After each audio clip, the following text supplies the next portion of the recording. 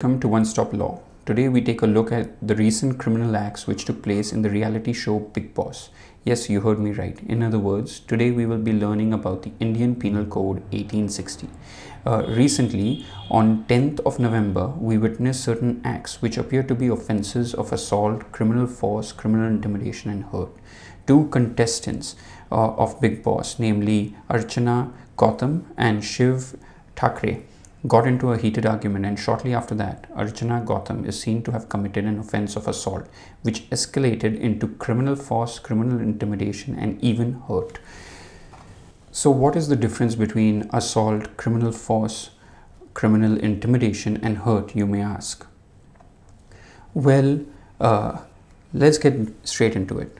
Simple gestures which use of force but gives an impression that criminal force may be used is referred to as assault under sections 351 while criminal force under section 350 uh, is the use of force to commit an offense or even merely use of force which the person knows will cause injury fear or annoyance to such person.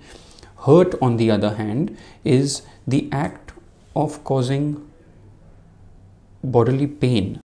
Sections 319 and 321 refers to bodily pain being caused to a person, while criminal intimidation under 503 refers to an act of threatening someone to cause them injury with an intent to cause alarm to that person. Uh, so let us take a quick look at the punishments that our dear contestant Miss Archana Gautam could possibly face. Uh, in case of assault and criminal force, she is looking at simple imprisonment up to one month or a fine of rupees 200 or both.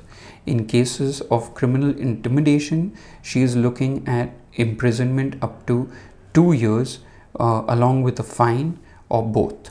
And in case of hurt, she is looking at simple imprisonment of one month along with fine of 500 uh, I hope you all have found this video entertaining and useful. Please don't forget to like, share, comment and subscribe for more such videos.